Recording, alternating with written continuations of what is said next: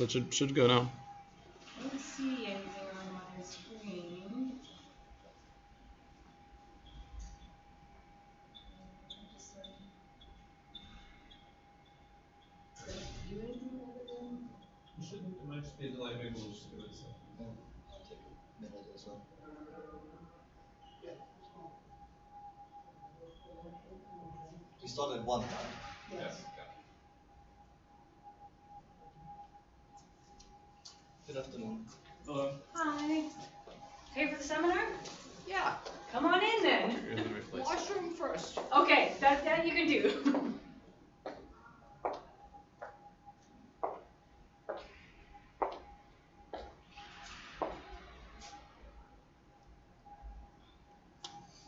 Yep, I see the desktop.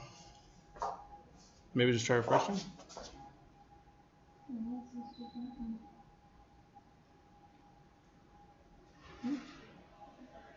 Oh, yep, there we are. Okay, so to see if you talk.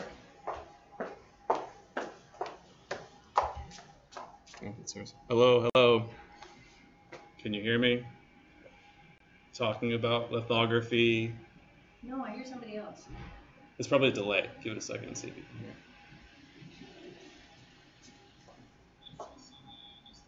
Oh, I see the, okay, there, yeah. Okay, That's good, right? yep. Awesome. Are you gonna go present first, or should I? Your call, whatever, whatever works. Paper, rock, scissors? I'll go if you don't mind.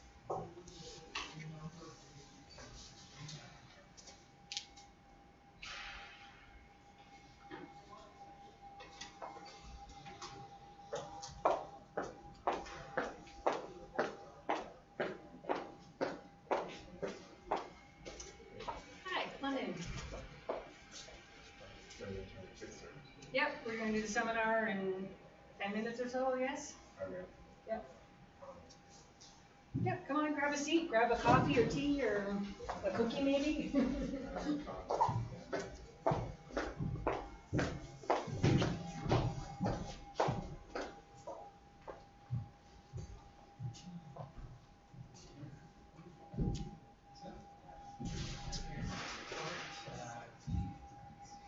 You guys are in the right place. How are you? Yes. Guys, don't be afraid, come in, come in. Make yourself comfy. It might be a packed house. We seem to be having a lot of people registering. Mm-hmm. Grab a coffee or tea or.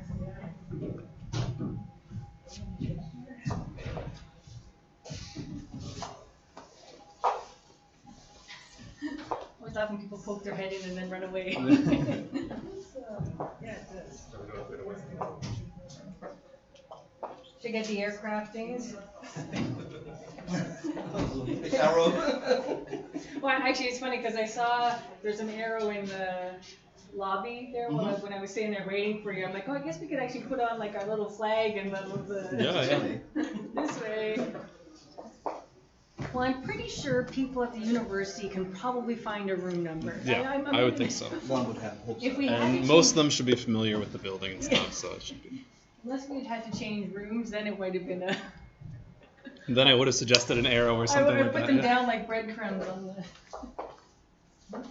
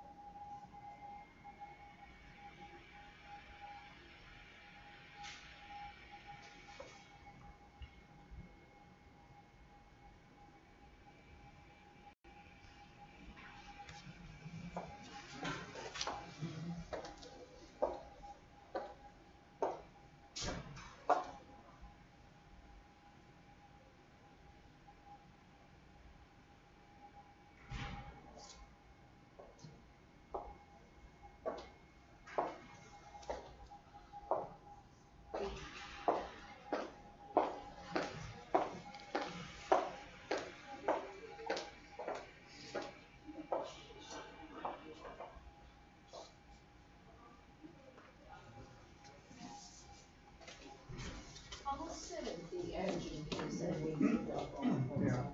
Please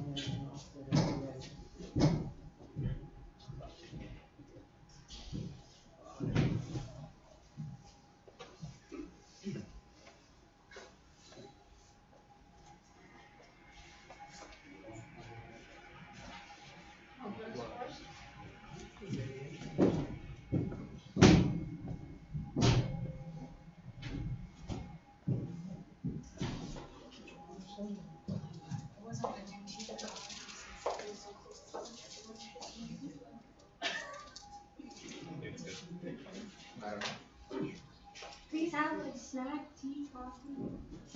Would you like a snack? No, thank you. We just had lunch.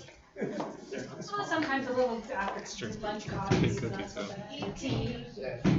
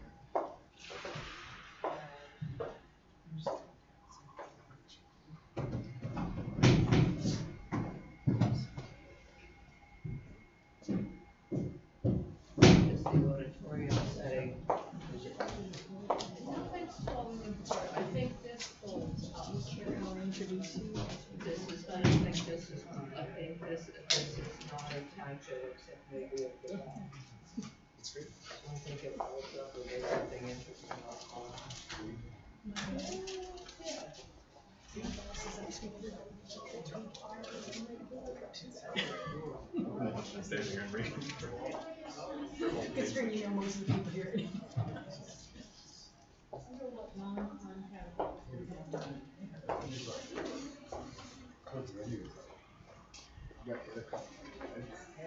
Huge vaults on his guy.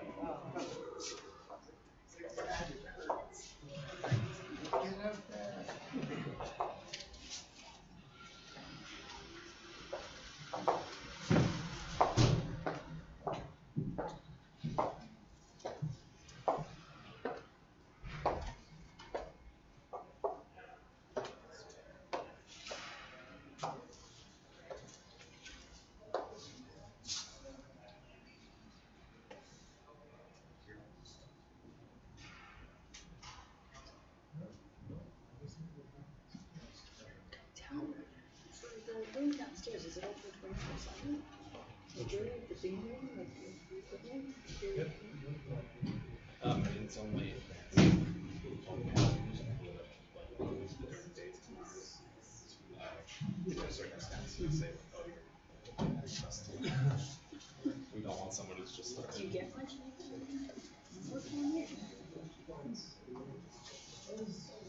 What's on here? We at some of the tools are so busy, it's not available. and Some people prefer different schedule. I guess you don't. I wouldn't want that. The, uh, you probably don't have an issue, guys, you have an issue between the daytime and nighttime noise performance. I know Pretty well isolated from any of this. I know down here too, there's, there's like some of the stuff looking right on the column.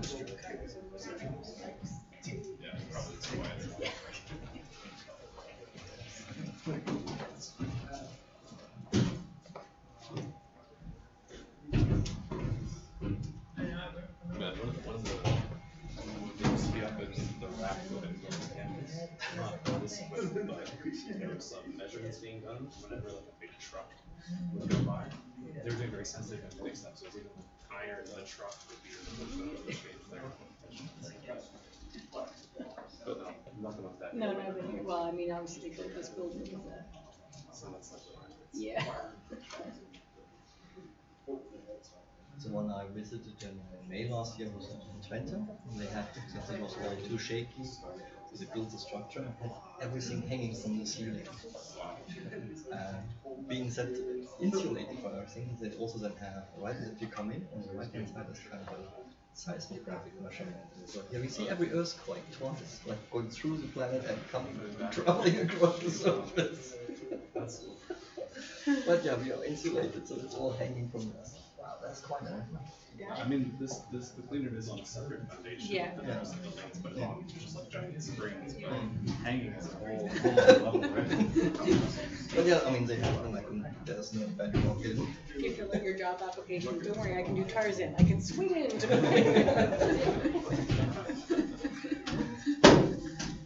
Nice. I'm uh, Vito. Good, good, good. Lisa McDonald, Lisa, nice to meet you. nice to meet you. Oh, I, I think I know you. I, I- I'm director of the uh, NanoFab. Well, thank you Okay, very, well, yeah, thank you very much for you helping for host it. me the opportunity. Sounds like an exciting new capability, so. We're gonna have him find some fun school in here. Yeah. We'll put him in charge, no, they just have anything else to No do. pressure, but. Yeah. We'll grab a coffee, maybe Yeah. Thank you very much.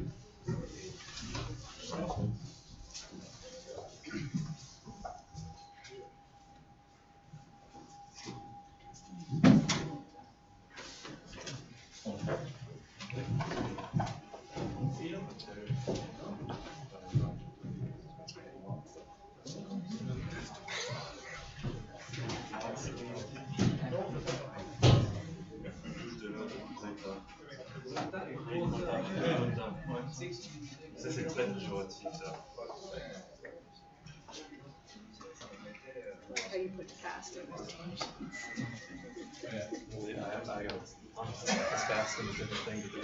Yeah, it's relative. Fast is very relative. It's always like, uh, when we used to sell the, when we sold the particle sizes, people say, well, it's small. I'm like, well, you're already small, and must be much smaller. Oh, I'm like, that's not small. Small, big, fast. Yeah. Comparison to. My kids are constantly asking, so who wins?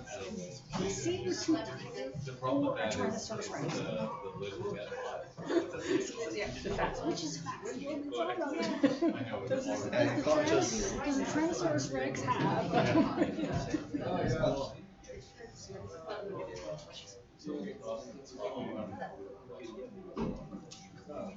so your saber tooth would win, right? It is way down the evolution line, so it survived the meteor crash. Everything is relative. What is the conditions? Is it fast? Is it slow?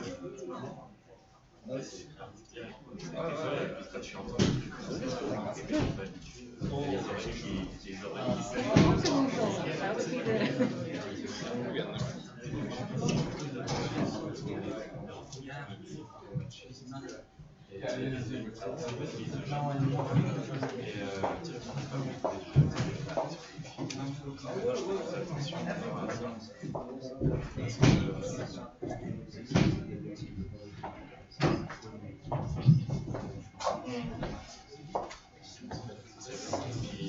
We are moderating. sure.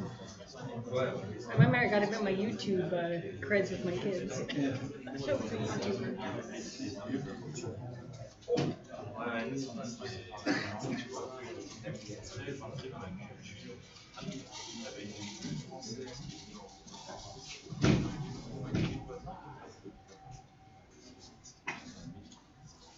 I don't. I didn't put any time on it. So I don't Yeah. know. You know how long your talks are. How long does it take for you? Same thing. Yeah, I got it. We Answer need a questions. Five minute break in between pieces. We'll see, we'll see. I mean, I'd rather people wander away than probably. Yeah. Questions? And, and, yeah.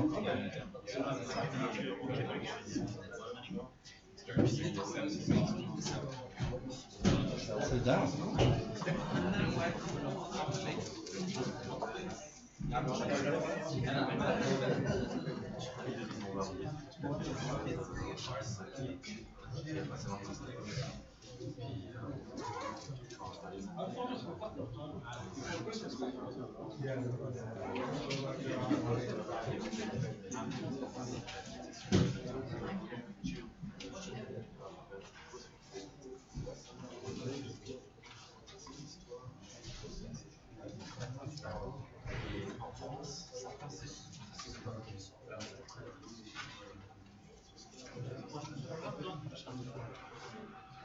Jesus.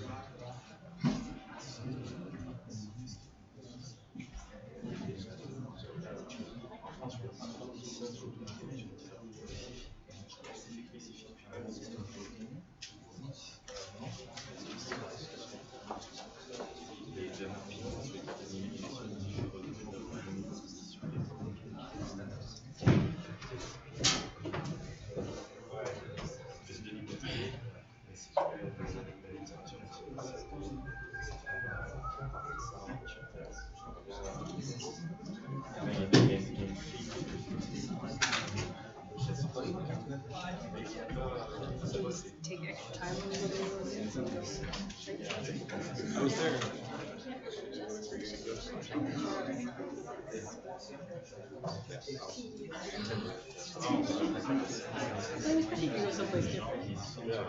Like I said, if you're going to Minneapolis. I still took it down just to stuff.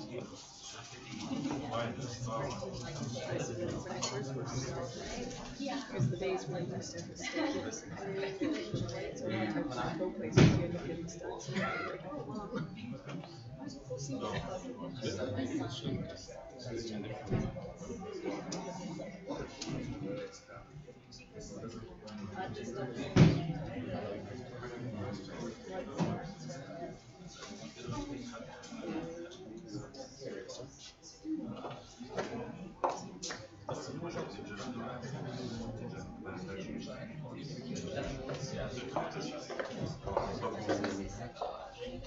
Um, welcome everybody. Um, we'll get started. It's close to one o'clock, so you guys can uh, continue on with your day. But uh, I'd like to thank you all for coming. My name is Lisa McDonald. I work with Spectra Research Corporation. We're the Canadian representatives for Heidelberg Instruments, and um, we have uh, Niels Gordecker here, um, who will be giving a presentation with regards to uh, the uh, Heidelberg Nano Division, and I'll introduce uh, Niels in a second. And I also like, would like to thank Greg Holloway. Um, he has helped coordinate this. Um, he works with the MLA 150 that we have downstairs, which is the Heidelberg uh, larger instrument, and he's going to be giving his presentation on the maskless grayscale photolithography. If at any point in time you have questions, obviously feel free to interrupt. We'll have some question sessions at the end. Um, if you have any questions about any of the other technologies that SRC offers, you know, feel free to come see me afterwards or any of these ones, and I'll be happy to help you out with any questions you might have. I'll let Greg take it away. Thank you. Uh, so yes, I'm Greg Holloway. I know most of you here from working in the fab. Uh, today I'm going to be talking about fast, fast maskless grayscale photolithography. Uh, the reason I put fast in quotes is because fast means different things to different people. Uh, to me, this is, is quite fast, and I'm going to go through what I exactly I mean by that. But this is probably not a mass production tool. This is more of the R&D development type tools that we have in the fab. But it is a very fast way to implement this maskless grayscale photolithography. So let's break down each of those terms just so we're all on the same page. When I'm talking about photolithography, uh, I'm talking about exposing photosensitive polymers, resists to light uh, to create patterns that we're going to use in our fabrication process.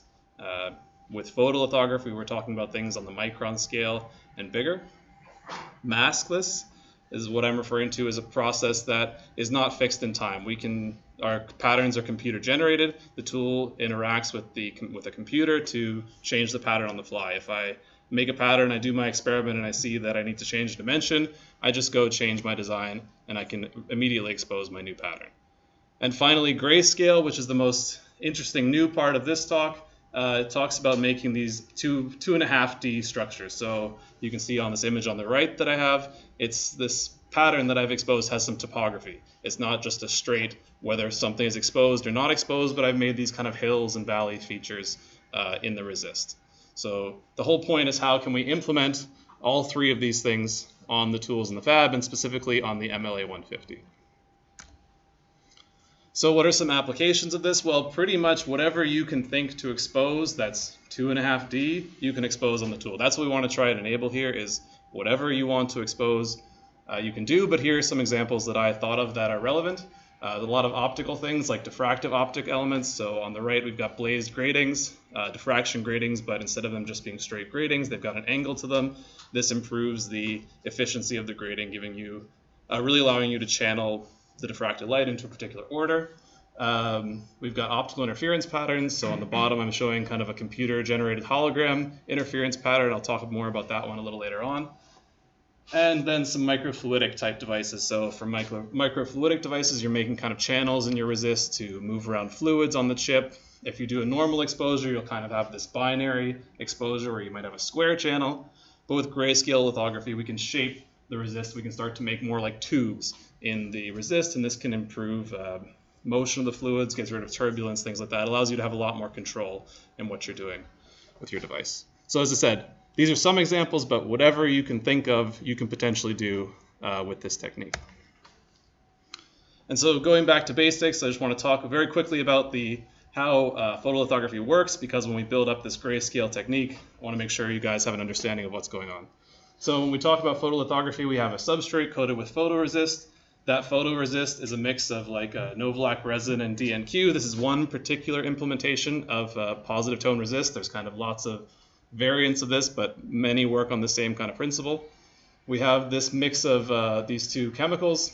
The DNQ prevents the resin from being dissolved in the developer. So if we take this unexposed resist, we put it in our developing solution, it's going to dissolve in that developing solution very slowly. We say the development rate is very slow. So in this case, I say it's less than a nanometer per second. It's not going to change very much. However, if we expose that resist to light, I've got some light coming down here. It's going to change the resist in that area, specifically interacts with the DNQ. It changes, that's a photosensitive material. It changes that material. I've changed, made it to a different color here. And when that happens, it increases the development rate, the, the, the rate this, this um, resist dissolves in the developer dramatically. So now if we take this chip that's been exposed and put it in developer, the part that's exposed will get removed. So we made a nice channel in our resist. How are we going to actually shape the light to do this? Well, the classical way to do it is with a mask. So we take a piece of glass, we put some chrome on one side of the mask in the particular shape of the pattern that we want, and then we illuminate the entire thing with light. And wherever there's not chrome on the mask, the light can get through and expose the sample in the shape of the mask, achieving this result. So what does that actually look like? Here are some pictures that I took of a photo mask on the left. Uh, everything that's white is the chrome material and everything that's dark is the glass. So everywhere that it's dark, light is going to get through and hit our sample and expose that resist. And on the right, I showed you a pattern that I exposed, and you can see they match pretty much, uh, they're pretty identical. In that case, the blue is the substrate underneath, so you're seeing the silicon there, and everything that's kind of that purpley red is the resist. So the chrome blocked their light from hitting the resist. So when we develop, that part stays on the sample. So that's how we can use a mask to implement photolithography. The problem is, uh, what if I make this device and I realize, oh, this is too big. I want this to be half the size. Uh, since I've made this mask, this piece of glass with chrome on it, If I want to make that change, I got to go get a new mask. I send it to a company, they make the new design that I want, and then I can do the exposure again. Uh, but that can be time consuming. It's hard to kind of iterate and develop your process in that way. And so that's why we uh, use maskless photolithography. This is what I was talking about with having the ability to have a computer connected to your exposure tool and able to shape the beam into whatever pattern that you want. And so I'm kind of talking about one implementation of that would be like a laser spot tool. So we have a laser which shines, say, blue light. We've kind of reflected off a mirror. Obviously, the optics would be much more complicated than this, but kind of a basic idea was you're focusing uh, the light down to a very small point. That's kind of the resolution of your system, say. Then you can take that, and by adjusting the optics, you can scan that dot across your sample, and you expose your resist in whatever shape you move the dot. I've drawn it here as a very analog thing of it just sweeping back and forth, but in reality, the beam moves digitally. You can think of that square there as being composed of a whole bunch of pixels. What actually happens is the beam goes to the first pixel, turns on for the required amount of time to expose that pixel, and then moves on through all the rest of the pixels in the shape. This digital exposure lets us encode whatever kind of shape we want. I've shown rectangles here. You can do circles, squares, whatever you want, as long as you can express it digitally. So then the question is, okay, we want to make one of these tools. How fast can we actually uh, do an exposure? We've got a uh, we were going to take a blue laser. These blue lasers are very readily available these days. If we go on Amazon, we can buy a five and a half watt blue laser for $220. It's a steal of a deal. exactly. But you can get a cheap, uh, a cheap blue laser. These are for like engraving and cutting things with this. I think you can cut through like two or three millimeters of wood, no problem. So it's definitely more than enough power for exposing our our resist. Um, Yep. So so that's that's the easy part, I should say. You'd think the laser might be the hard part, but that's the easy part. The problem, and so then if we think about it, if we've got let's say one watt to make the math simple, our resists uh, usually require a dose, an amount of energy for them to be exposed, so that we get that chemical reaction to take place, and we express that in the units of millijoules per centimeter square.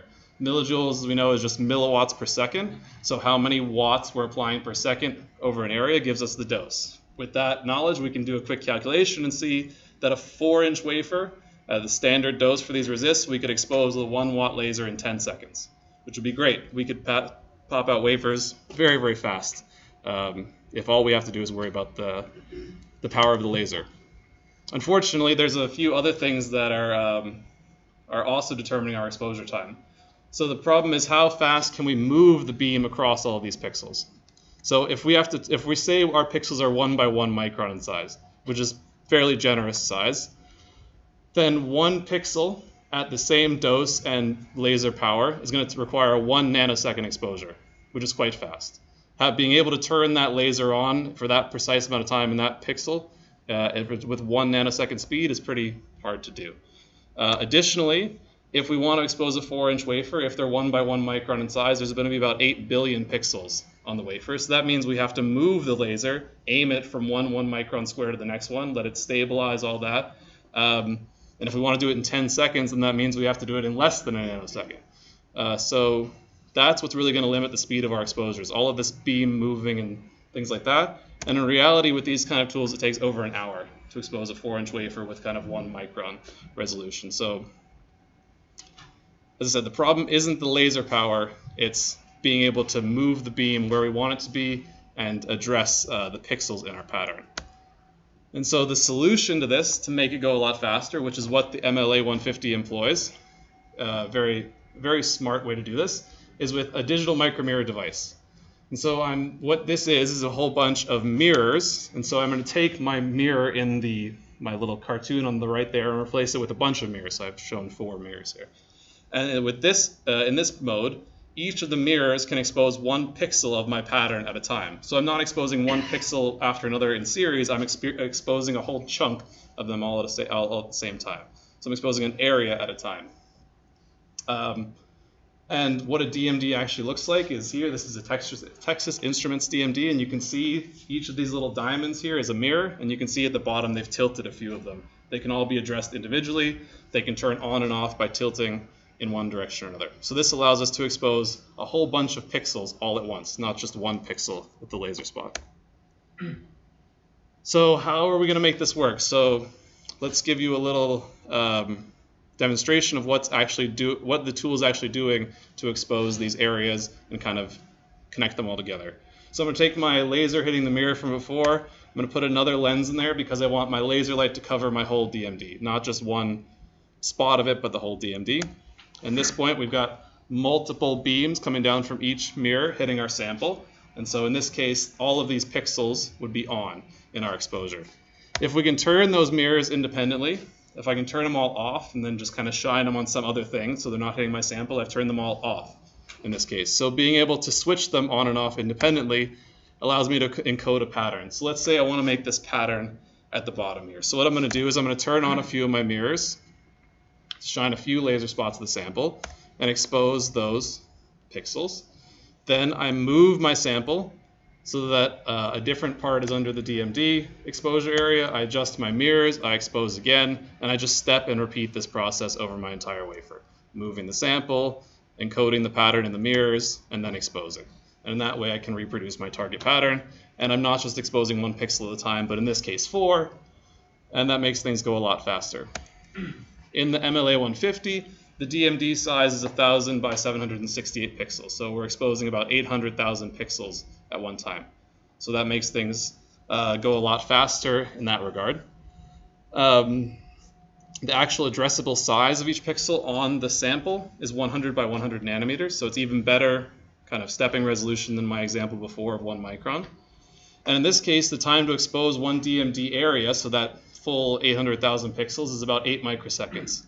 In this case, we actually kind of want it to be slower, right? Because in the past, when we were looking at that single spot exposure, we couldn't keep up with that one nanosecond requirement. That's too fast to kind of control uh, the laser. But in this case, if we have eight microseconds to expose on the sample, it's a lot easier to control the system, and it's a lot, it, the electronics are a lot more easily uh, reachable in that kind of time frame. Similarly, over a four-inch wafer, we don't need 8 billion individual pixels. We only need 100 million of these uh, individual uh, DMD exposures. So this makes things go a lot faster. Where there's not such the we or the electronics can actually keep up with the requirements that we're trying to reach here, and with that we can expose these wafers much faster. Not 10 seconds fast, but in 10 minutes, which is kind of an order of magnitude improvement over the laser spot tools. So this is what helps the MLA be such a fast tool, and that's why everybody likes it because it makes the exposures run so quickly. So the next step is now that we understand how the MLA is working, how can we implement this grayscale lithography there? How can we control the exposure uh, to get these kind of hills and valleys and stuff like that? So a reminder with our normal exposure process, we expose the resist, it changes this DNQ, and then when we develop, we can develop this binary exposure. Let's say instead of doing that exposure that we re drastically reduce the, la the laser power. And it's so, I've made the rectangle so light here that you can't even see it, I don't think, on the projector. But imagine I've lowered the laser power uh, and I'm getting much less exposure here. In that case, maybe less of my DNQ fully converts. Maybe I'm only getting half of the chemical reactions to take place, and so the resist is partially exposed. In this case, our development rate is going to be less. It's not going to be incredibly fast. It's just going to be kind of in between the fully exposed and partially exposed regime. And in this case, if I put it in the developer, you can see I made the, the resist develop much slower here. Uh, so this gives us kind of a control over our resist. By changing how much we expose it, we can change how fast it develops. And if we don't develop for as long, we could leave some resist there. So this allows us to change the height. Instead of having fully, fully exposed or not exposed at all, we can have an intermediate, uh, partially exposed region. So I said earlier, or the previous slide, that we would do that by lowering the laser power. Well, that's not very feasible. We don't want to go mucking around with the laser and these very fast time scales that'll never kind of change fast enough. A better approach is to change the exposure time. So here I'm kind of showing the laser exposing the resist for a fixed amount of time. And now again, I'm going to expose only the left area for a longer, or a second time. So now this area is more exposed than the right-hand area. That means they're going to have different development rates. So again, I put them in the developer. They develop at different rates. So I might get one that's fully developed, one that's partially developed, and areas that are not at all developed. So I'm building up this kind of step-like structure here. And of course, here I only picked two uh, different doses, fully and partially exposed, but I can kind of make however many steps in between that I want to make a fully smooth transition from fully to partial to, to not exposed at all. So varying the development rate, or sorry, the exposure time allows us to change the dose, which then changes the development rate, giving us this structure. So what we want to do next in order to actually do this uh, grayscale development is to measure a contrast curve. So this is where we take the resist, we expose large areas with varying dose, and then I, in this case, I took them and put them through the profilometer and measured the height of the resist that was remaining as a function of the dose. So it's zero dose, I don't expose the sample at all. I've got the full resist thickness, and then you can see when I get out to about 10 uh, millijoules per centimeter square of dose, the resist starts to actually get removed, and then we have a roughly linear decrease to say about 50 uh, millijoules. So this is what lets us like kind of pick what resist thickness we want. If I want half the resist remaining, I pick it around 30 or 25 and end up with half the resist remaining. So this is my, my guide to tuning whatever kind of resist uh, structure I want. So now that we have the how we're going to actually, uh, well, now we want to look at how we can implement this on the actual tools. How am I going to vary the time for each of these pixels? So going back to the spot-based tool, this is very easy. All we have to do is when we're exposing these different squares, we just turn on, we change how long the beam shines on each spot. So here I've made the squares fill at different rates to show that I'm exposing the edges for longer than the middle. And as a result, the dose varies in the same way based on the exposure time. When it's exposed more at the edges and less in the middle, I get this kind of, I would get this kind of peaked shape if I were to develop this.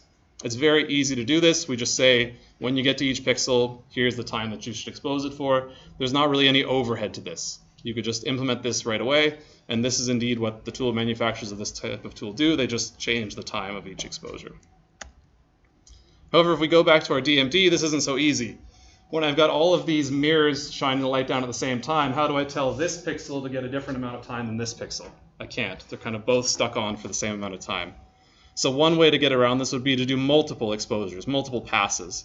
So I didn't bother animating the mirrors in this case, it's too much work. But uh, imagine that I've exposed all of them on this first pass, and then I'm not exposing the middle one on the second pass, and then I'm not exposing the middle three on the next pass, and so on and so forth. I can kind of slowly build up that same sloped exposure pattern. The only problem here is that I've required multiple passes, multiple exposures to build up these layers and that's going to take time. Each time is another essentially full exposure. So if to do six layers like we did in this case, you could potentially require six times more exposure, and then we're not really gaining anything by using this particular implementation. Maybe there's smarter ways you can encode the layer so it wouldn't take six times for six layers, but still it's kind of too much overhead. So what's the alternative? How, how else could we do this more efficiently? And so the idea for this is kind of the whole point of this talk, and First, I want to go back and talk about how you could how people have done this in the past with photomasks. And they've done what's called pulse width or pulse density modulation. And this is where they take their pattern and they make sub-resolution features where they vary either the density of these features or the width of them. So this, or sorry, the other way around, density, yeah, density and width. So, um, and you can see because the size of these squares is changing, we've effectively got higher dose in the middle and less dose on the edges. If these features are smaller than the resolution of the tool, we won't see each individual square, but we'll see just the overall lower amount of light or higher amount of light getting to each place because of the change in size. Um, you're probably, even if you've never seen this with regard to photomasks, you've probably seen this technique before because it's been around for over 150 years and it's used in half-tone printing. Normal printing, they change the size of the circles. Um, so here's a picture of my cat that I did in halftone printing style. And you can see uh, when I zoom in on his ear, the dark parts that just made the circles they're printing larger, and the outside they made the circles smaller. And when we look at it sub-resolution, as in, I mean, like not looking at each individual, individual dot, when we look at it far away, we just see the picture of the cat. We don't see the individual dots. That's kind of the same idea here. The tool is going to address each individual circle, but when we look at it from far away, at the kind of resolution of the features, you're not going to end up seeing these small changes. You're just going to see the overall dose variation. So the, with that in mind, remember that with the MLA, our actual addressable pixel size is 100 by 100 nanometers. But the kind of minimum achievable resolution is 1 micron. So our sub-resolution features are on the order of 100 nanometers, with our actual resolution being 1 micron. So if we take the same pattern that we looked at earlier, if these kind of squares here are one micron, if we zoom in on them, each of these squares is actually composed of 10 by 10 of these 100 by 100 nanometer actual pixels. So when I'm exposing this square, I turn all of these mirrors on and I expose that square. But what if I instead only turn on half the mirrors?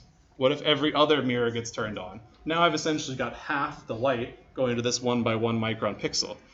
So this allows me to, to change it uh, with, for, so I can have this one at half the dose and this one at the full dose. So when they're getting exposed at the same time, um, they're getting different doses, but not requiring multiple passes through the machine. Yes. So what might that look like? So like half exposed makes sense. You turn everyone on and off. But here's some other examples of what kind of 10, 20, 30, all the way up to 90% filling might look like.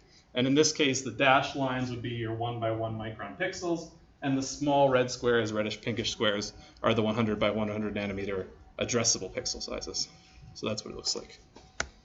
So then, uh, just for demonstration, if we go to KLayout, everybody's favorite um, GDS file prep software, uh, I've made this simple pattern where we've got these. Uh, I've used the colors to indicate the relative dose that I want. So uh, dark red is 100, so that's fully exposed, and the dark blue is only 10% exposed. So I'm going to make, again, these kind of peaked structures. And we can write a nice simple macro in KLayout, and all we do is run this grayscale macro and turn on this, and it's converted all of those dose variations into these individual pixels. So it's very easy to convert your pattern into this kind of structure if you set up the layers appropriately. And here I only did uh, kind of 10%, 20%. You can go all the way down to 1% dose variations if you really want to get that fiddly with it. It's just changing the number of pixels there. All right, where was I? So yes, that part is very easy to do. And the results, that pattern that I just showed you, I expose it on the MLA, and look, it comes out very nice. So we've got these peaks uh, on the top here, kind of increasing and decreasing. There is that isolated one in the box. If I zoom in, this is what they look like. We're getting these nice peak structure just like we'd hope. It's great. The only problem, uh, we try to do a large pattern and the software complains. So uh, I made a pattern that was 9 by 9 millimeters, a 1 centimeter square pattern, and I tried to run it through the MLA software, and 43 minutes later, it hadn't started exposing yet. And when I go and look at the files, it hasn't it converted any of the files yet. It's just too complicated. All those pixels that it's having to turn, that it's having to encode into the actual exposure, it just can't handle it all. So what can we do? Uh, we make our own script to convert it. So I've written a script in Python uh, to convert these patterns, and with this, with this we can convert a one centimeter by one centimeter pattern in a couple of minutes. So rather than 40 minutes to not get a one centimeter by one centimeter pattern, we can do it in a couple of minutes. So that's an improvement. And um, the converted files are then ready to expose in the normal MLA software. So it's not requiring any changes to the software. We run the conversion, and then we can just load it normally and expose um, as you normally would. Okay, so what do the results of this look like? So uh, in the first slide, I showed you this top right image, which is kind of an example of this uh, computer-generated hologram. And so this is an optical interference pattern. I'll describe that in a moment. But essentially, it requires that, that we have resist uh, squares of different height, and the light's going to interact with those different squares to make an image. And on the bottom here, you can see how I've really zoomed in on a few of these squares, and you can see there there's a number of different heights there. There's 10 different dose values here or 10 different height values that are given this pattern. So how does this work? Well, I pattern this on glass because it's an optical effect. I want the light to pass through my sample. So it's on glass. And here's my cartoon of different resist thicknesses. When I shine a green light at this, the wavelength of the light will be one particular wavelength in air. When it goes in the resist, due to the different index of refraction of the resist, the wave is going to slow down a little bit, compress, the wavelength gets a little shorter, and then when it exits again, it returns back to the normal speed. Uh, when we have multiple resist thicknesses, the amount of time the light spends in the resist is different, so the amount of time it's compressed is different, and that changes the phase. You can see initially all three of these are starting at the same phase, these different sine curves, but at the end, after they've passed through the resist, they all have a different phase. They've acquired that phase from the different resist thickness, and the different index of refraction of the resist. So uh, what does that look like? So I've got a demonstration here because everybody likes a demonstration. Okay, so let's hope this works. So, shine this up there. You can see the QNFCF logo, right? So the light is interacting. What if I do it over here? Interacting with the. it's interacting with those different resist heights, and it makes that image. That's a computer-generated hologram. Um, in reality, that square that I showed you is only the top right corner of that pattern. Uh, this would be a one millimeter by one millimeter SEM image, and even this, the full pattern is four by four millimeters, so it's another 16 times bigger than this. There's a lot of squares that are going into this, um, making this effect. But still, it's only four by four millimeters, which is not that big. So I want to make something even bigger. So this is what I'm holding in my hand. It's this microscope slide. And if you look carefully, you can see I've patterned a ring on the sample here, right? So if I take this back again, I go in the top of the ring, we get the QNFCF. But if I go down, I've encoded a number of patterns, and so it actually rotates the image around. so yeah, the, just to make it more complicated, right? And so then in the end, that area is 16 by 64 millimeters, so a lot bigger than the 10 by 10 uh, that we had problems with earlier. With 10 grayscale levels, it was only exposed in a single exposure, not a multi-pass exposure. That's about 105 trillion of these 100 by 100 nanometer pixels, and it exposed in under two minutes. So that's what I think is pretty fast. Uh, so it's just a normal exposure on the MLA in terms of the time. There's no overhead for this grayscale process, and yet we get 10 grayscale levels in this case. Okay, so that's my kind of main result with the uh, grayscale stuff. There's one other small point that I want to address at the end of this talk, um, very related. And this is a, a, common effect that people see when they're exposing on the MLA. Uh, it's this striping error. So uh, probably most anyone that's underexposed a pattern is seeing this kind of striping error. So all I've done here is done a normal, normal, normal binary exposure, no grayscale or anything like that. And I've just exposed this large square you can see in the bottom here. So everything on the outside is unexposed resist, everything in the middle is exposed.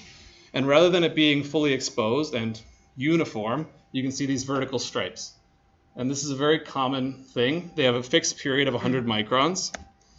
And if I take a profilometer and run it across the sample, there's a height variation associated with these stripes. In this particular case, it was 100 nanometers of height variation, uh, which is not good. Although normally, if you were just doing a binary exposure, you would dose this enough that it would fully clear. You wouldn't see these stripes in the middle. But what you might see if you're getting into very small resolution is the edges are not straight. They get a little bit of the same kind of structure, a little bit of a, a wiggle on the edges due to the striping error. I mean, the better you tune your process, the less you see this, but it still can potentially be uh, something you observe. And the reason for it is due to a non-uniform illumination of the DMD. So here I've got this kind of uniform light blue light hitting our laser, or sorry, hitting our DMD, but in reality, it's probably something more like this, where I hope you can see that it's a little darker in the middle and a little lighter near the edges. It's just because of the way the optics are set up, it's hard to get that power completely uniform across the full DMD. So what can we do about this? Well, since we have this grayscale process, what if we took the ability to change the dose that we have from grayscale, we measured the dose variation that we have from the uh, non-uniformity on the DMD, and we uh, incorporated that into the pattern. We corrected for that in the pattern. So if the dose is slightly lower at the edges, what if we lower the dose in the middle of these stripes as well? It should be a more uniform exposure. And so I've only just started working on this, but here's that same image of the normal exposure. And here's that uh, square that I've uh, exposed with this compensated exposure where I'm changing the dose across these stripes. And it looks flatter to me by eye.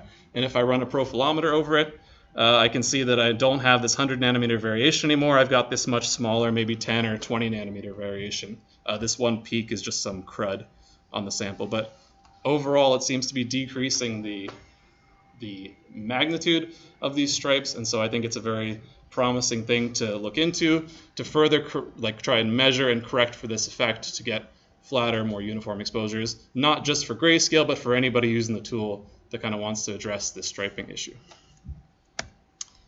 So yes, to conclude, uh, I've kind of demonstrated this pixel density modulation and how it can quickly expo- uh, be used for exposure of these grayscale lithography patterns, um, specifically with MLA 150, the tool that we have available. And uh, I want to stress that this conversion uh, uses the standard MLA software once the patterns are converted, so it's very safe. There's no like hacking into the tool to try and make it do something special. It's kind of working within its normal parameters. It's just exposing these grayscale levels on top of a normal exposure. Uh, I think that striping compensation could be very promising, and so that's something I'm going to continue to look into. And overall, I want to continue improving and streamlining the conversion software to make it available to everybody so that anybody can run this grayscale uh, correction on their patterns. So thank you very much.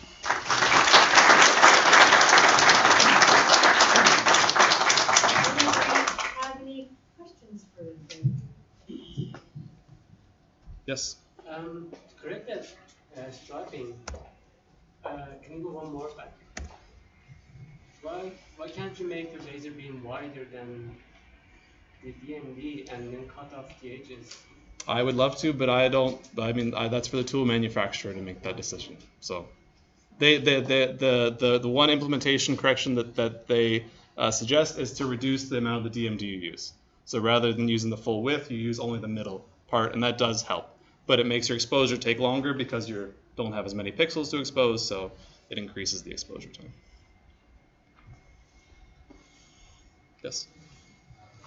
if uh, grayscaling aside, the grade, uh, masking aside, if you have the ability to expose 100 by 100 nanometers, uh, why can't that be the resolution? Like, why, why is our resolution 100? So, so I mean, it is partially limited by the resist itself. With just this type of resist we're using, it's hard to get below that kind of uh, resolution. It's also limited by the wavelength of the light. With at 405, we can't really push down to 100 nanometers of resolution. So, the one micron is kind of where we're stuck with this tool.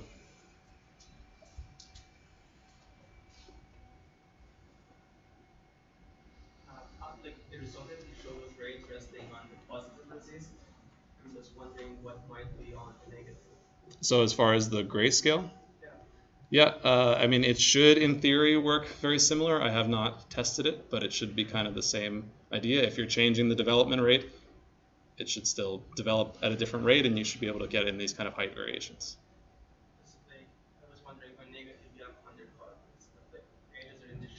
Yes, yeah. Yeah, I mean, I, I haven't looked into it yet, but that is definitely something to, to look at, yeah.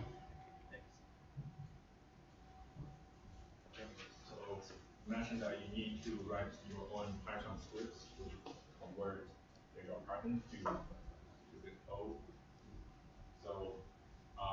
I'm wondering like how, how much time it takes for you to write this code to control like the like through the whole area that you want to do. Uh, it took it took a while, but now that it's pretty much ready to go, it should just be plug and play. Like you just feed your pattern in, and it'll feed out the result that you want. Uh, what kind of pattern like do you draw like a A- Any GDS file. So, so a GDS file, I would say that it should be converted into the this kind of structure with the individual pixels that you want to expose, not the dose layers. Although I guess that could be included as well. So any any GDS file, which is the standard exposure file for the tool, uh, anyways.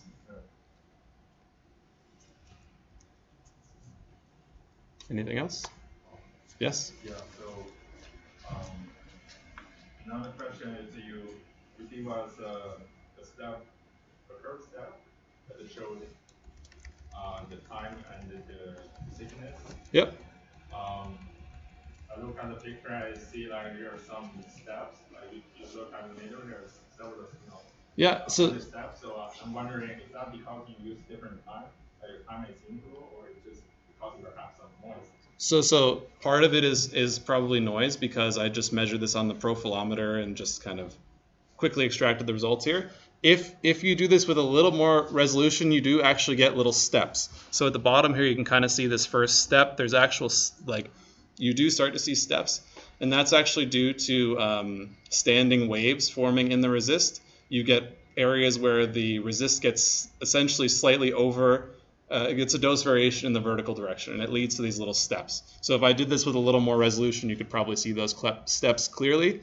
Um, and that is something you'd probably want to take into account to give it, depending on how precise you want your overall pattern to be. but for these tests here, all the grayscale work I did, I just assumed this was linear and just said, I want that. I mean, I just fit a line to that and, and extracted my doses that way. So I didn't worry too much about that, and it still gave pretty reasonable results.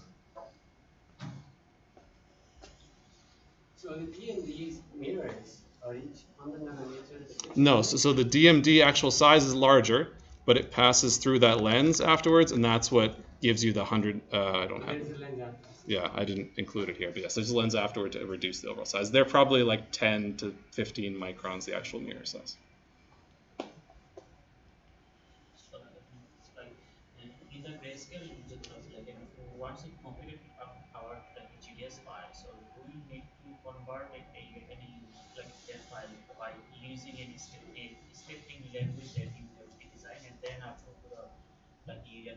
Or there is no? Yes, so, so, so you, you can't, I mean, if your pattern is small enough, like uh, the first pattern that I showed you, that one will expose just as it is on the MLA. But if it gets too big, it just can't handle the all those pixels. And so I take my GDS file, I convert it, and it outputs the exposure files for the MLA, and then they just get exposed directly in the software. So you kind of skip that conversion step that you would normally do at the MLA in that way. No thanks very much, Greg.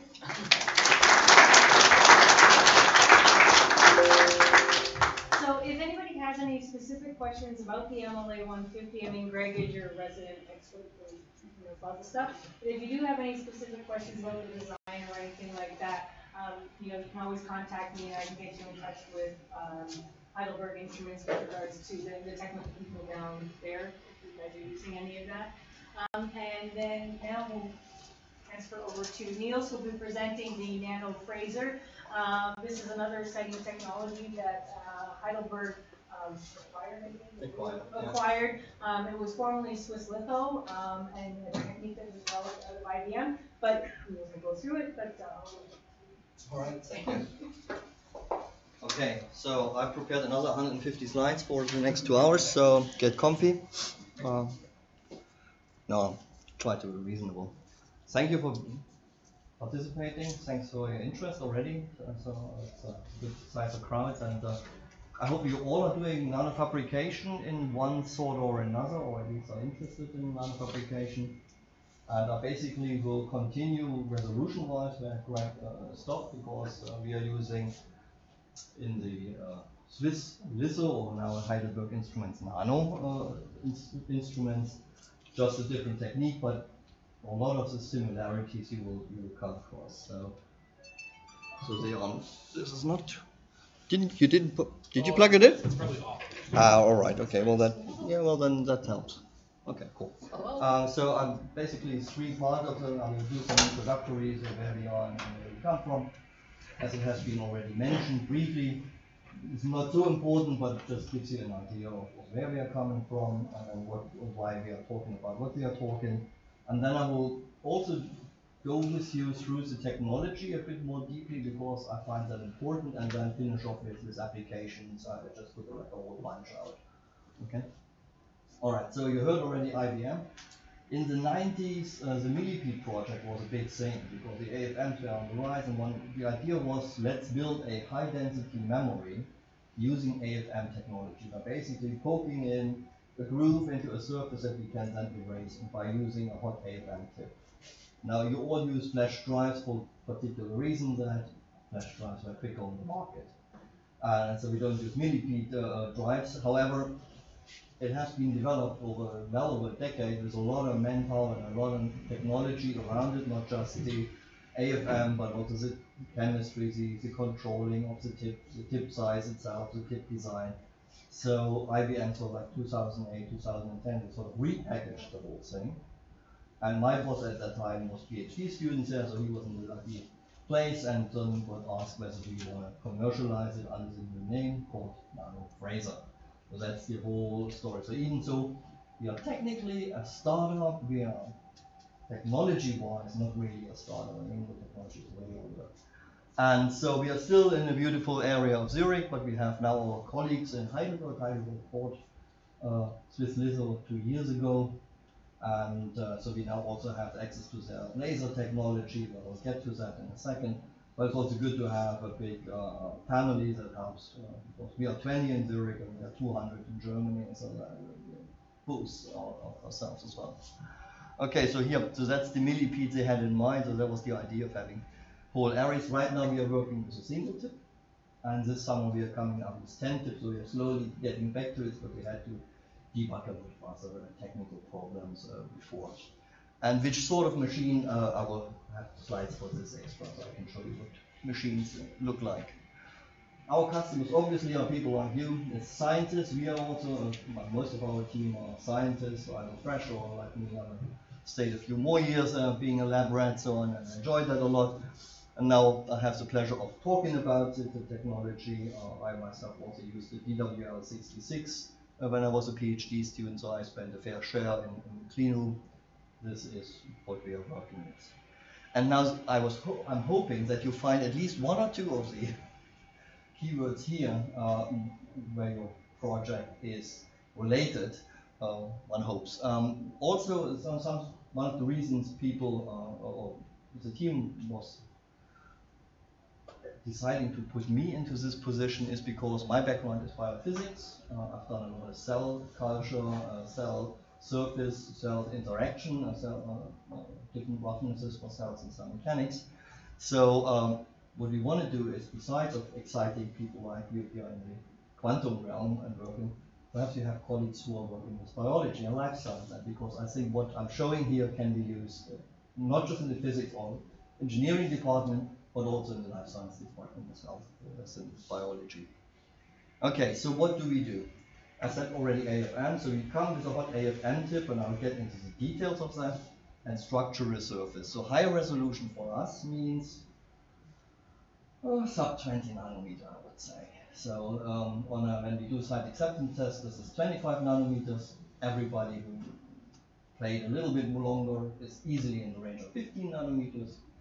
8 has been demonstrated, but that was extremely optimized case, so I would say, like, yes, we can make 8 nanometer structures, but not daily, okay? But 15, yeah, because when, when I coming from microfluidics doing 70 nanometers the first uh, afternoon, I sort of proudly was like, what, what's going on?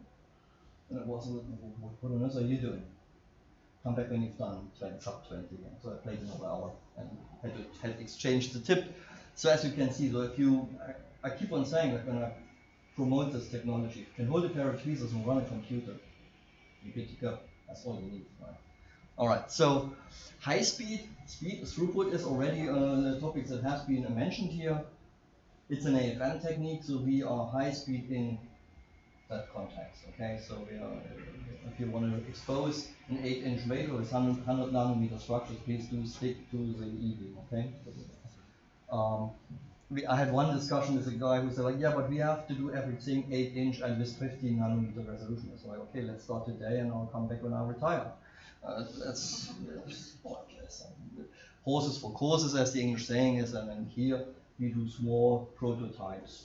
And if you need a lot of nano structures, then let's consider nano imprint lithography, etc., etc.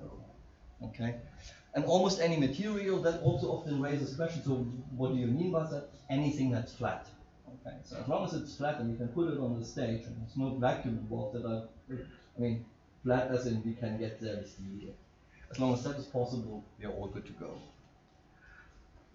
The beauty of having an inbuilt AFM machine is you can structure an image as well. And we use that a lot, and it will get clearer as soon as I show the cartoon of how the, excuse me, uh, technology is running.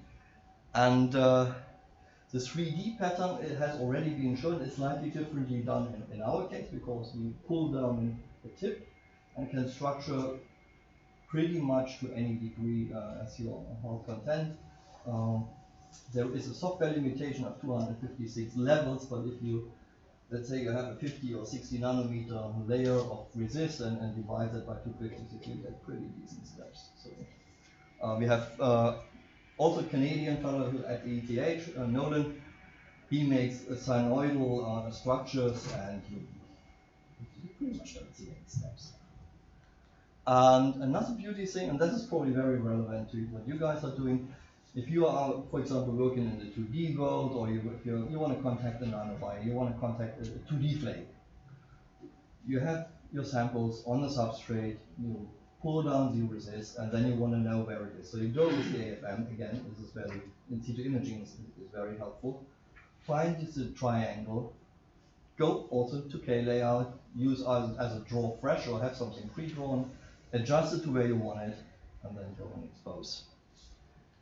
So, and another beauty is, and that is in contrast to E-beam technology, is since we are not blasting in a high energy beam, we are not implanting any charges, and they're not damaging crystal structures.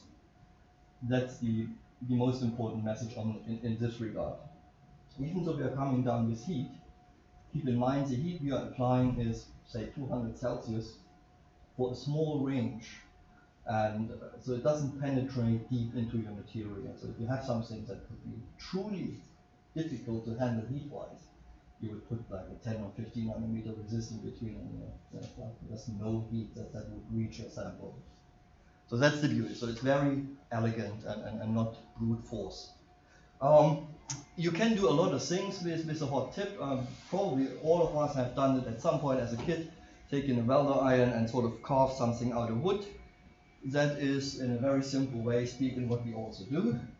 Um, but we don't burn things, so what you can do is, if, you, if it is plastic, you, could, you know, can indentate something, getting over the glass temperature. What we mostly do for our lithography process is we degrade a resist. I'll get to that in a second.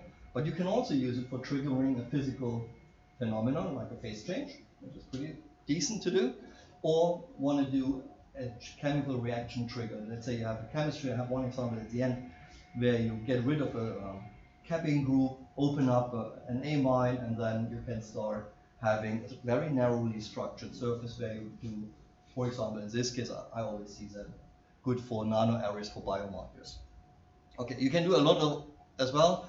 Uh, Samuel is a student at ETH. He has summarized it. It just comes out these days. If that's of interest, uh, please let me know and um, he has summarized hundreds of papers about SAM scanning for lithography. It's a really good review, but it's I keep on saying it's coming out next week, but uh, I've seen the preprint, so it's but I wasn't supposed to show it yet. So uh, okay, so we are focusing for the next slides on the degradation and desorption of our resist. So that's the slide with all the details about the AFM tip. Well over 30 years of uh, development has gone into this. What you can't see here is so the tip is basically where I'm shining the laser light on. If it is, this was a special array, uh, a special um, arrangement here that it actually glows. It normally doesn't glow, uh, but here they, they wanted to show that off.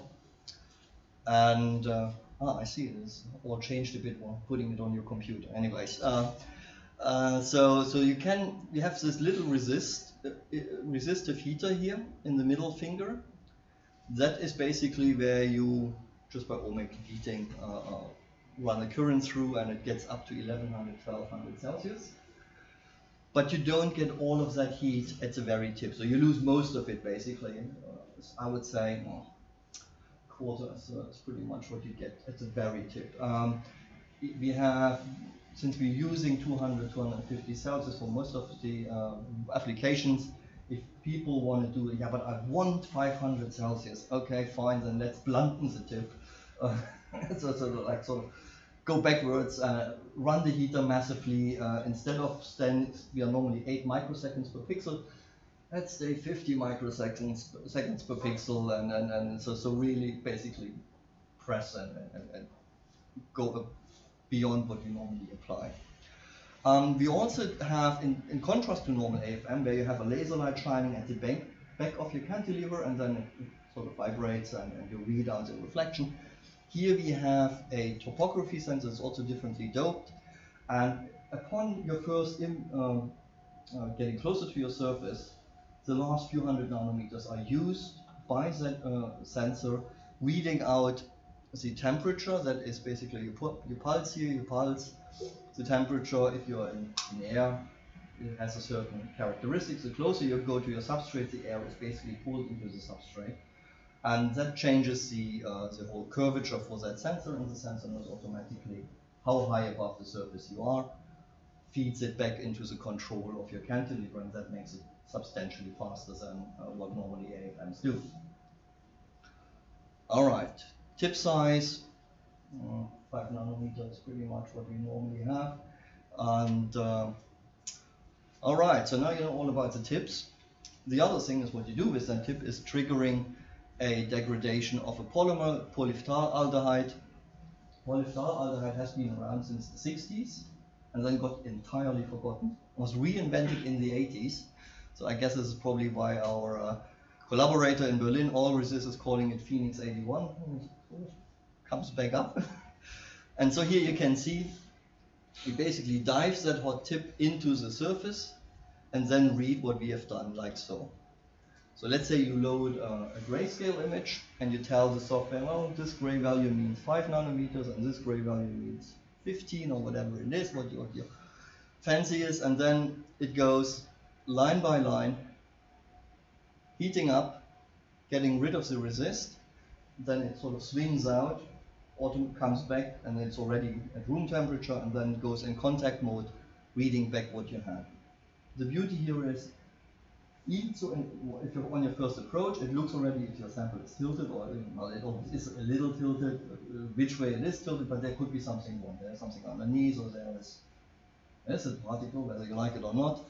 So it can, within limits, sort of correct. Uh, and if it is too much, then that flag and say, okay, hang on, stop, stop, go 10 microns up north and, and try the same thing again. So that's the beauty because in, in contrast to, to, let's say, e-beam, you expose, you develop, you put the SEM, if you're lucky, then you have this here and, and you don't have to wait for days, uh, other universities aren't that lucky. Then you look and say, oh, okay, let's book the uh, system again.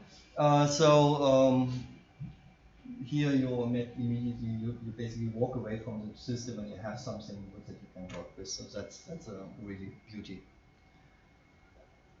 And once you're done patterning, then it is all up to you. And I find this out. Also, I said that earlier. Um, basically, it's, it's a tripod. You have the machine that, that we supply.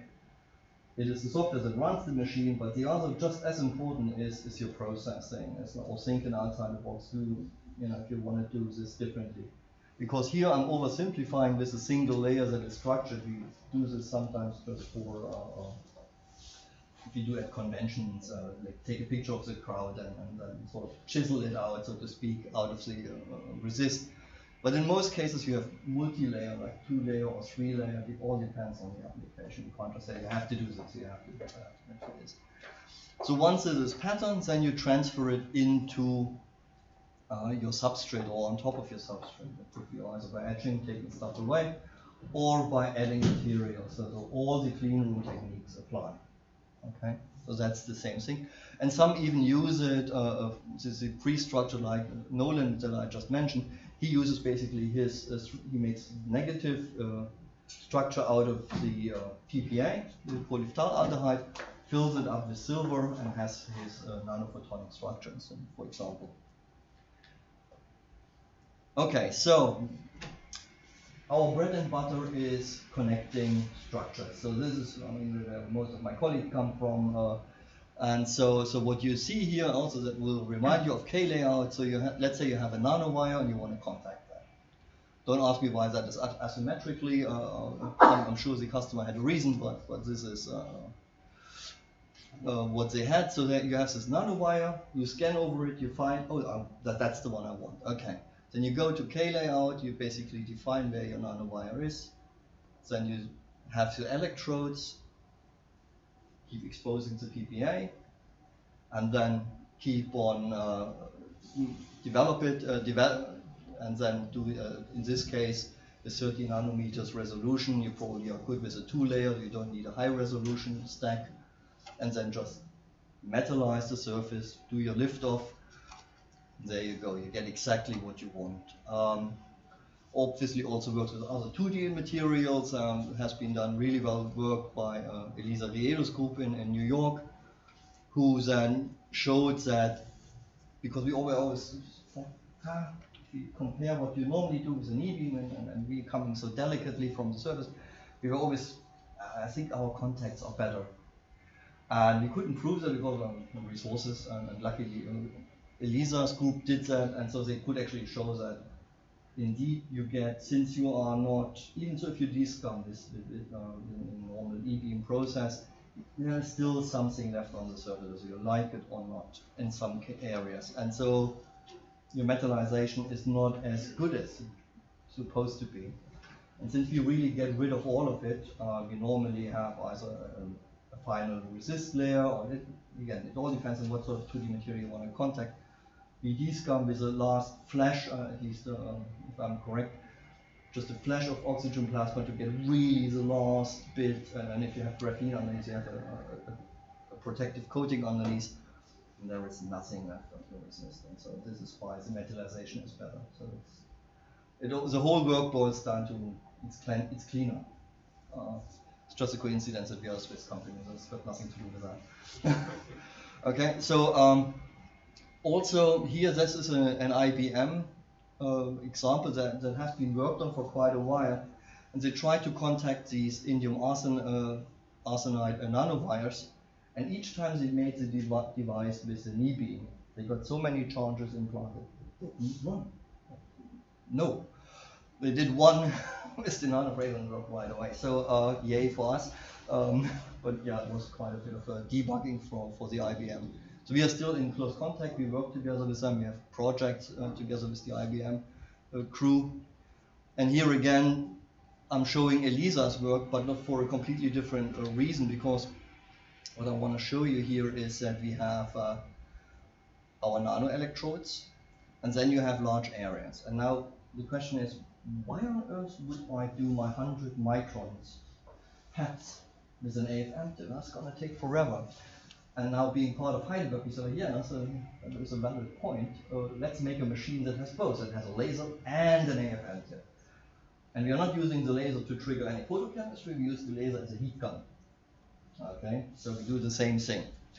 And so, so that was quite a development, but last year was the year where we basically released it into the wild, had three beta sites at Harvard, at EPFL and Jülich, Germany, and so collected all the data, upgraded the system, and since I would say October, so since last end of last year, it basically is a commercial available uh, add-on to the to the systems. Once again, uh, for, for those of you who are interested in the whole process, so you come with the tip, you open it up, the PPA, then you develop it, and then metallize, and you get your need. And so here, this is actually quite impressive if you think of it. I mean, your 2D material isn't that really thick. It's like, like a nanometer or so max. And you still can see it buried if it is under, say, 20, 30 nanometers of, of resist. So that's, uh, that's pretty decent uh, resolution-wise. Okay, so what else can you do with it? Um, you can contact and you can structure by metallization as I've already said so. So obviously that's interesting for people who are doing nanophotonics, making all sorts of arrays, for example, uh, um, out of gold. Uh, in this case, these are the petals. And what I failed, again, my background isn't EV, my background is nano uh, microfluidics, and I saw this picture, I thought, yeah, so what, it's just three dots. Yay, you can make three dots. And then they say, look at the scales, like, yeah, you can make three small dots. What I failed to notice is you don't have any uh, proximity effect around it, so no halo whatsoever.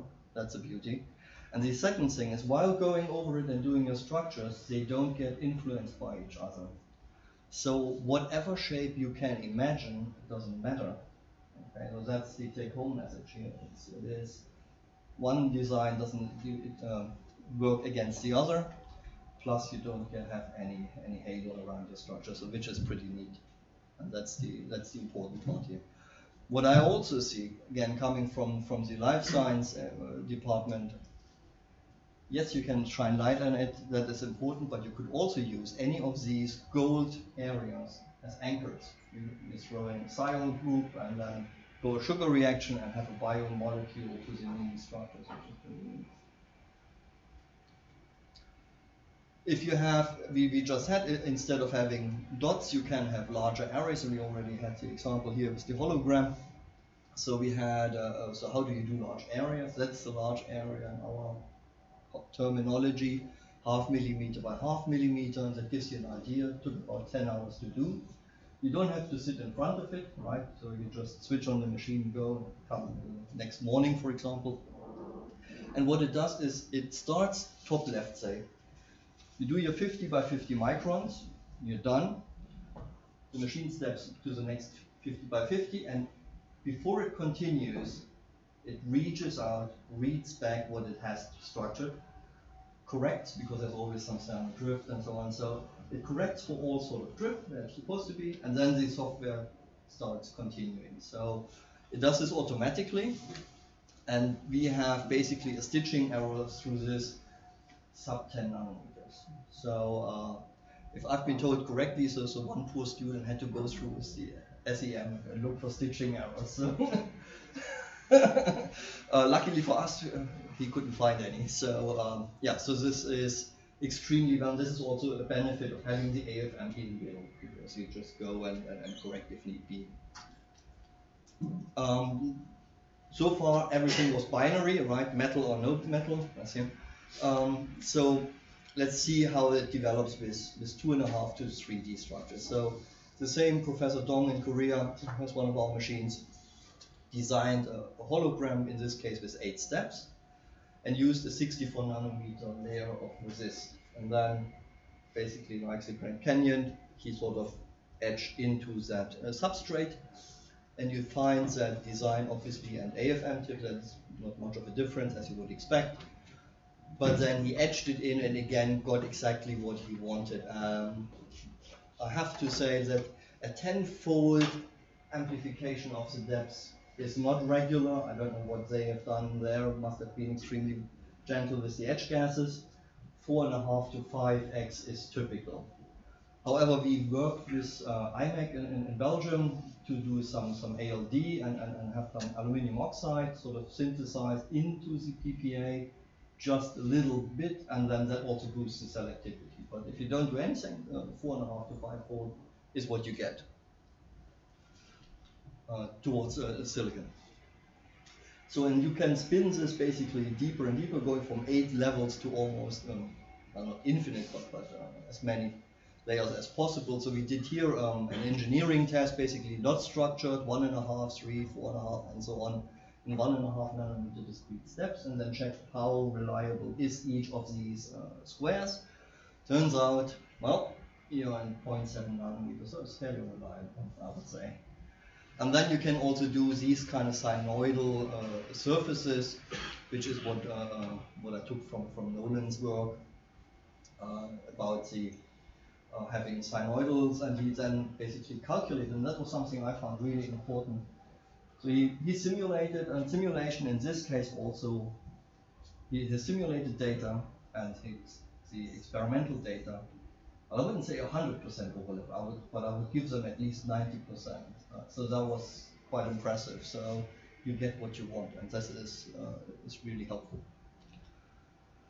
Has been also used, also that's an IBM research uh, an experiment where they did exactly uh, microcavities for, for trapping photons.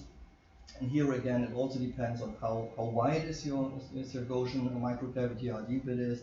So the, that curvature is important the rest, uh, a multi-layer um, uh, structure is, is standard. And you you have to rely on is my cavity exactly what I want.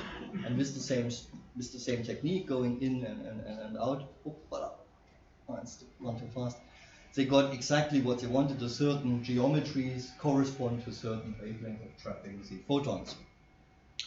And the interesting uh, physics start when you do pairs and then you do pairs of equal uh, geometry and then have electrons tunneling from one uh, no, from one trap to another, which uh, has been also published recently.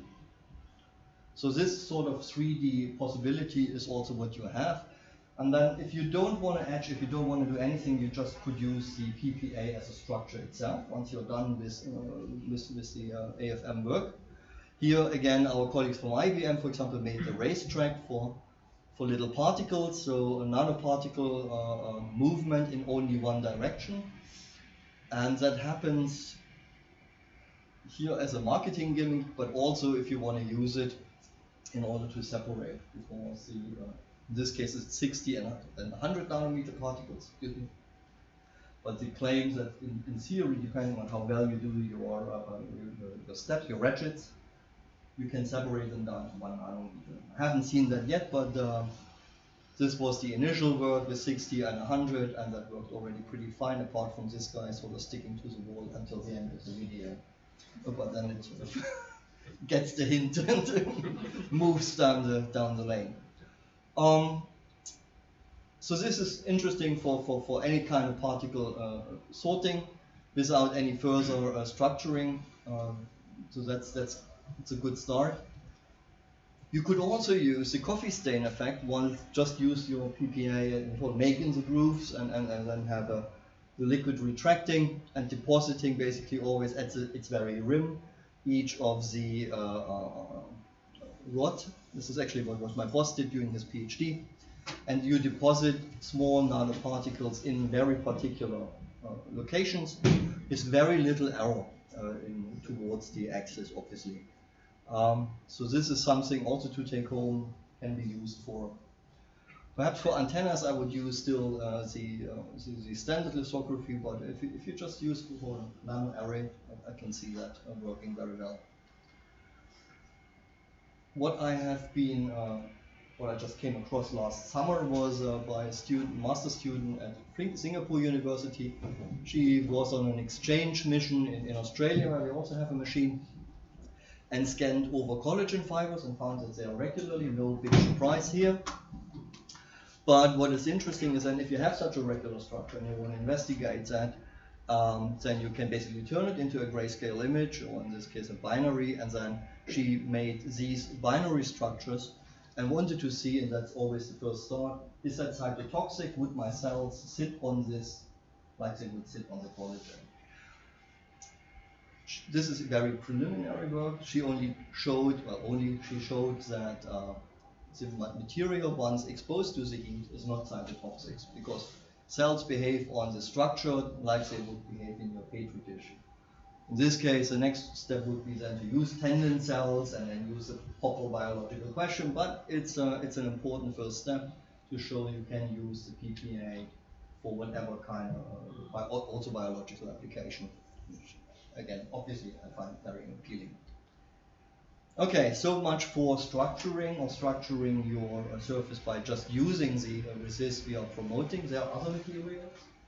We are promoting the, the phenolphthalealdehyde, uh, uh, polyphthalaldehyde because it has the least contamination on the tip. So in theory, the tip is never get contaminated. In practice, it does at some point, depending on how deep and how much you, you write and uh, PPA leaves the least residue. Uh, people working on silk, people working on other polymers, I've, I've, seen all of that, but if you want something solid and if you want something that's working on a daily basis, um, PPA is the material you want to stick to, literally. So, but you can also use it as a heat gun. I, I said this in the beginning of the talk, and I will show you a few examples that might uh, trigger your um, interest. So Eduardo Albisetti used to be a postdoc in Elisa Riedo's group and he's now in Italy. He was interested in making spintronic devices, had um, a layer, a multi-layer of uh, rare earth uh, materials uh, coated to his uh, epitaxially grown on his, on his surface, heated it all up with a permanent magnet underneath and orientated all of it in one direction. Okay, so far so simple. Now comes the important bit. He then came down with the, with the hot AFM tip, heated a small area, so you have your tip and the area around, I would say gives that a 20 nanometer diameter in, in total. Reorientated his permanent magnet and then you take the tip away. And this warming and cooling is in the range of 100,000 Kelvin per second, so it has no chance to reapply. So, so just you go in, heat up, turn the magnet, go away and it is instantly cold. And this way you can reorder and rearrange your surface mag magnetic uh, magnetic properties in, in, in, particular ways. Same works for a big polymer.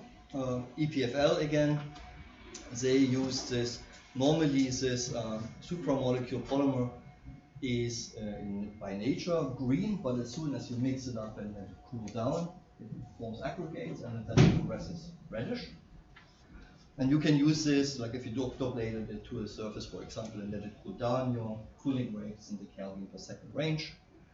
Again, with the, the hot tip, we are more in the 100,000 Kelvin range, and this allows you to basically A, indent it, and B, cool it down fast enough so you do have basically two fluorescent channels uh, addressable, as well as the roughness. So uh, Samuel then did this for us, our uh, company logo, uh, as a QR code basically. Uh, this was in connection with nano features, for example, nano safety features for products.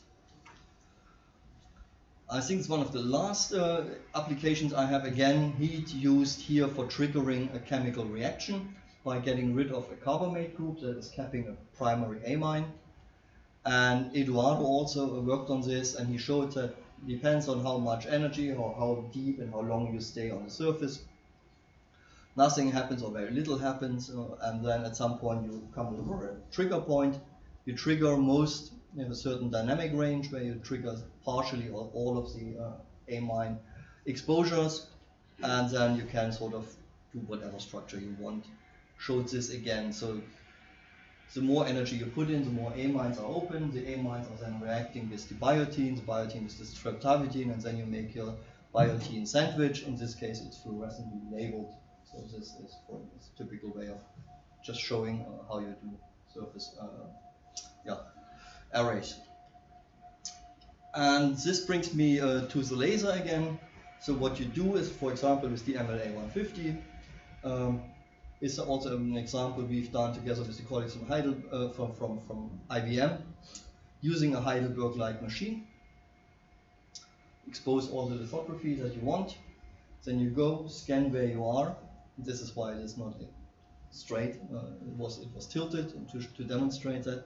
So everything in orange-brown has been then exposed with the laser, and the thing you can't see in the middle has been exposed with the AFM tip. And the device then looks like this. You here, Colin got a re resolution in the range of 10, 12 nanometers, making the single electron transistors. interesting. Okay. Finally, so what do these machines look like? They come in two flavors. One is the benchtop machine. Um, they, both machines have almost identical features apart from some that I point out. Uh, the benchtop one is in the range of 2 inch substrates. If you have to have 4 inch, it doesn't work there, obviously. And um, another beauty is it's rather compact, so if you don't have a lot of space um, in, in the clean room, for it or wherever, it will fit very well in a corner. And it also fits in MBraun glove box, which is neat because uh, we just had this, uh, the first unit's gonna be shipped this spring uh, to China, where we uh, basically decoupled then all the noise and then got rid of all the uh, issues we had with uh, vibration. And, big question was if you have this, is the lack of noise, because we normally do all of that in, in environmental. But no, luckily, so noise was not the problem, and uh, the engineers was were capable now to insulate it all well enough so vibration is not a problem. Uh, I think if I'm correctly informed, what you do right now is you write, switch off the environment, and then after, I don't know, 10 minutes or so, stop writing, give it a bit of a wash, and then continue uh, writing. So this is the, the Scholar, the smaller machine, and the bigger one has been also on the flyer. It's about yay tall, big, a meter deep. It's bigger, bigger is better, not always, but in this case, bigger allows us to throw in a laser.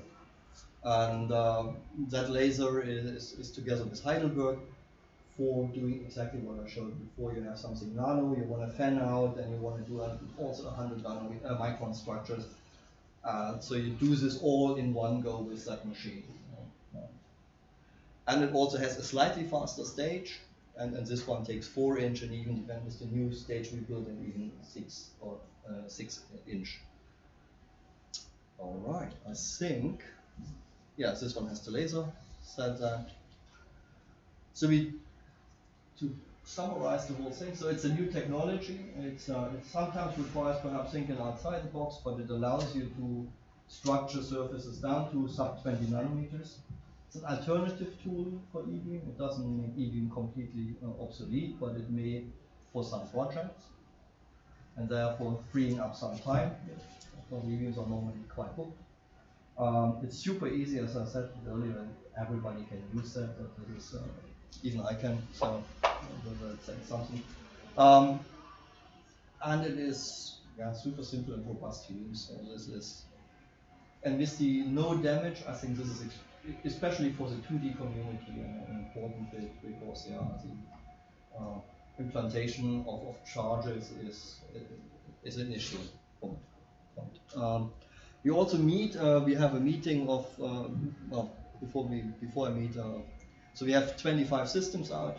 Some uh, the next one for you guys is uh, at McGill. Uh, we have one in Harvard, one in New York, South Carolina, Salt Lake City, and Dayton, Ohio.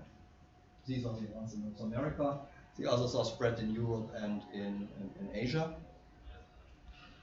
And with that, I'd like to thank you for your attention. We do have a workshop in three weeks' time, four weeks' time, so if you want to do a last minute call to Switzerland, uh, don't forget the skis. and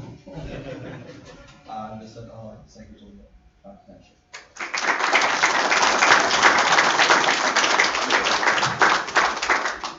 Does anybody have any questions for?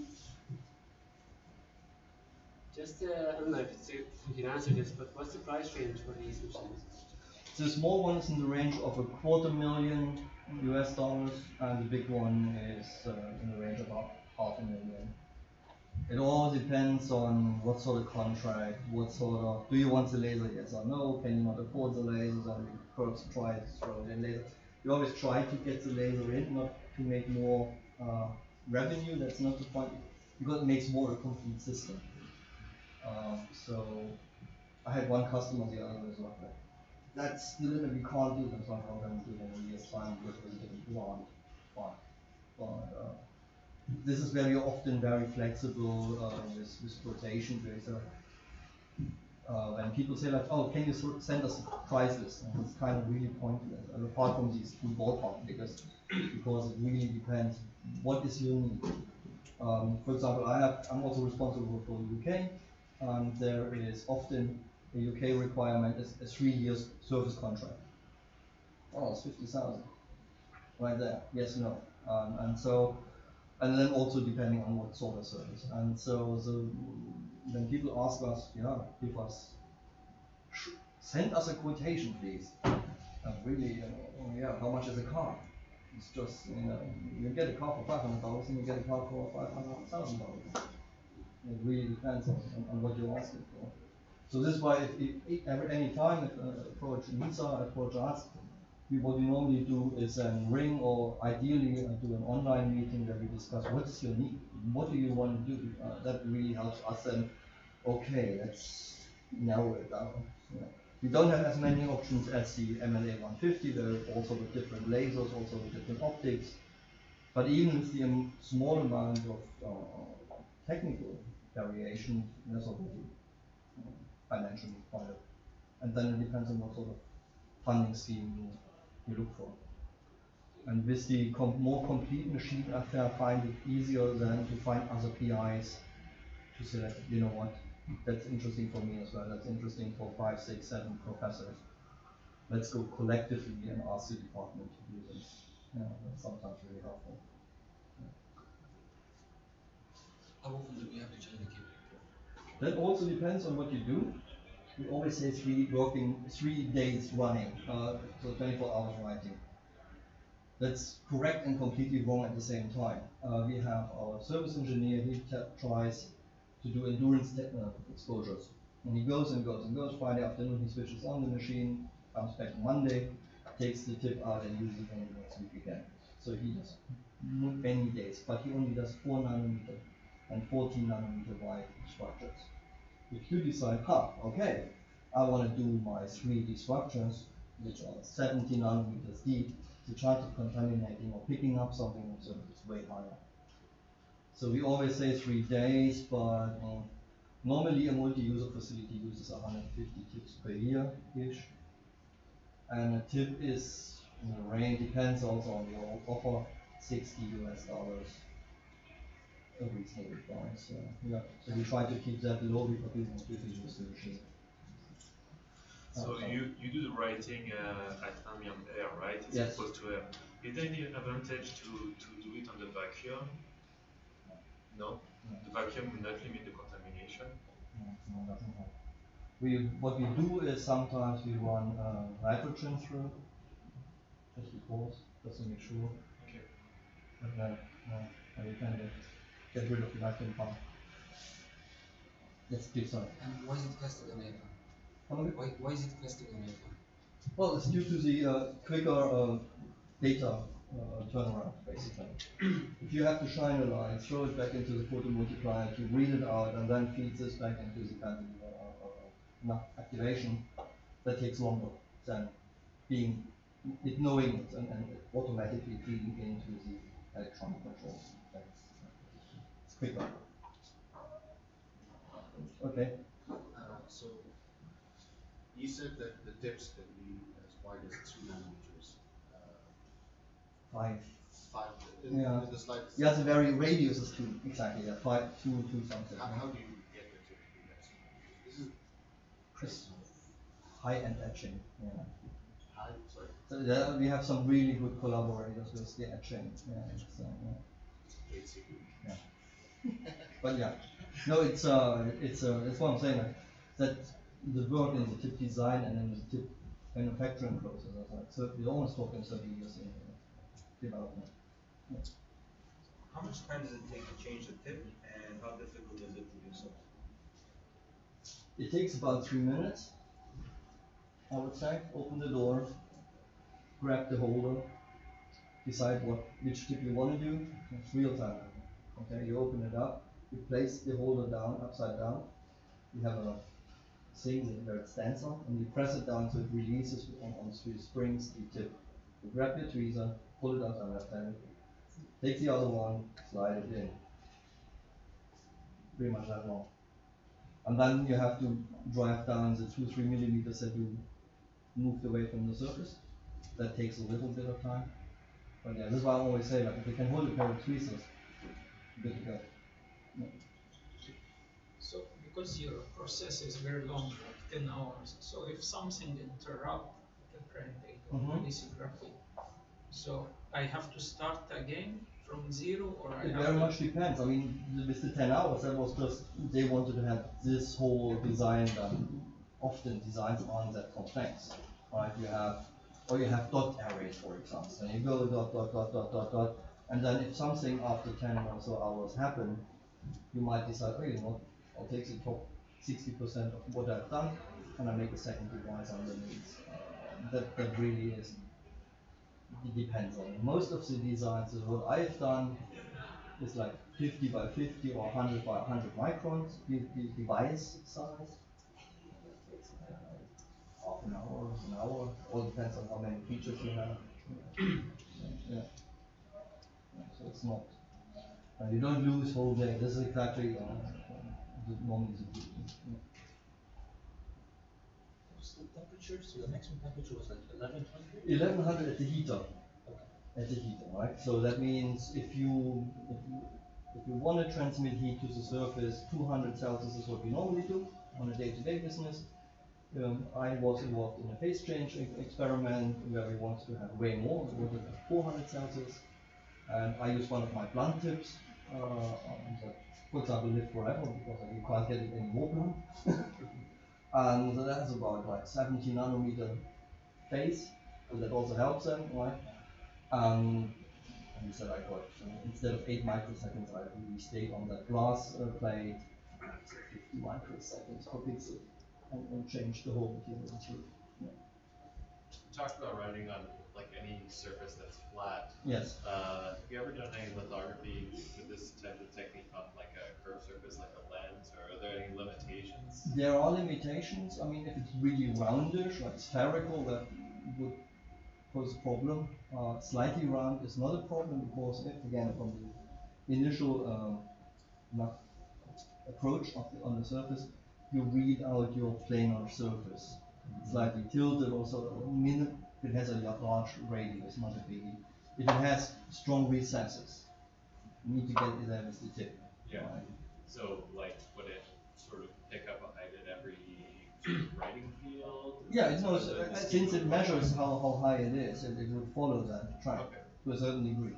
Yeah, but, but not like within the writing field, it would correct dynamically. Yeah, it would correct actually. And uh, again, this, we had some people asking like, yeah, we have, have something that's fifty micron wide, two micron deep, can I do this? Yes, you can, in the middle, know, right? Uh, on the side, your, I mean, your coating is gonna look crap to begin with, because you will have uh, that. But in the middle, oh, absolutely, you as long as we get there it's the needle. Yeah. Yeah. Yeah, so like, mean, here, Please. like, I mean, here, like, if, like, keep is contacting with the PPA or the, the other CHS, so, uh, like, so there is a chance that, like, I mean, people gonna contact with them, like, or, or or any other, so how the user will know that, like, I mean, when the The system will tell you. The system will tell you because um, unless you see it already, so, everything you do, there's also a, a microscope showing you what you're doing. So you barely see it, it's sort of like it's a jitter, right? And goes something, and then once it has done a certain part of your design, is ah, okay, now I'm seeing something. Um, however, for example, with the begin, you want to expose, you go down, and it will tell you, hang on, this is an old tip. Not because it knows how old that one is, there's nothing encoded in, but it will notice from the amount it, um, from the IV curve it goes, it goes down, measures, and then you put it And from this, how much it stays while moving out, it calculates back how big is your contact area. The contact area, and then it will say, okay, you're with 50 nanometers, that's not going to work with high resolution.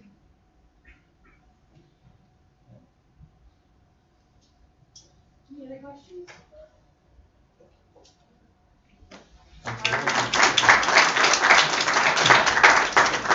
I'd like to thank everybody for coming today, hopefully you guys learned something both from Greg and from me. If you do have any questions, I do have my line card, or my business card here, you can take it, feel free to send me any emails, um, and I can get you in touch with the right people if I don't know the answer. Grab a cookie or a coffee on your way out, I don't think I should. And thank you very much. One thing, if you have demos, if you want to have demos done, then just contact us. Like that, it was really interesting. I never got it explained in that detail. Oh, that was really helpful.